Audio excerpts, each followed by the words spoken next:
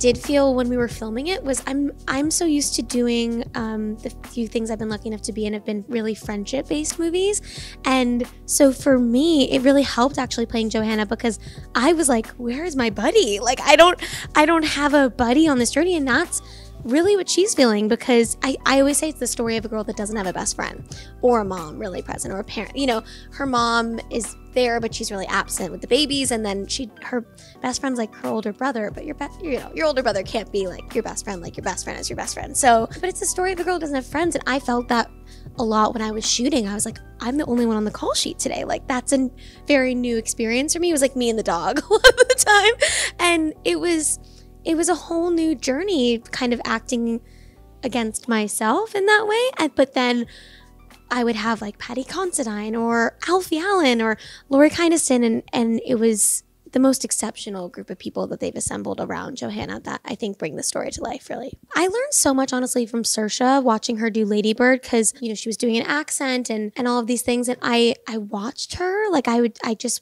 was in awe of how she handled herself with such grace and love and generosity. And she really felt like a member of the crew as much as a member of the cast. And I really tried to emulate that with How to Build a Girl because I'm there all day, every day, just like the crew, versus if you're a cast member, sometimes you come in and out. But for How to Build a Girl, I was I was really in the thick of it with them. And so I really felt that way. I felt like a member of the crew just as much as a member of the cast. And that I really, I truly emulated from Saoirse because I, I was so in awe of the way she did that.